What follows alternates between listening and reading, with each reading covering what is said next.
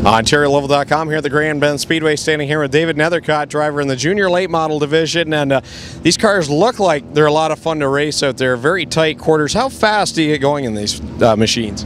Um, we're doing about 65 miles an hour. And tight quarters out there. Uh, I'm sure the ratio compared to like a full size late model on a full size track, it's still pretty much the same out there. So it's a good experience for down the road when maybe you get into a bigger car.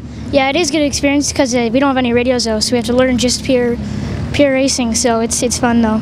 Now, really a, a family uh, racing deal for you, Bailey and Dawson, cousins, obviously, and it has to be fun to come to the track and you have that rivalry. And, and do you talk at the end of the night about who did better, or are you just there to support each other?